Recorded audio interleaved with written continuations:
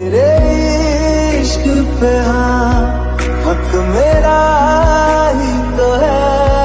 कह दिया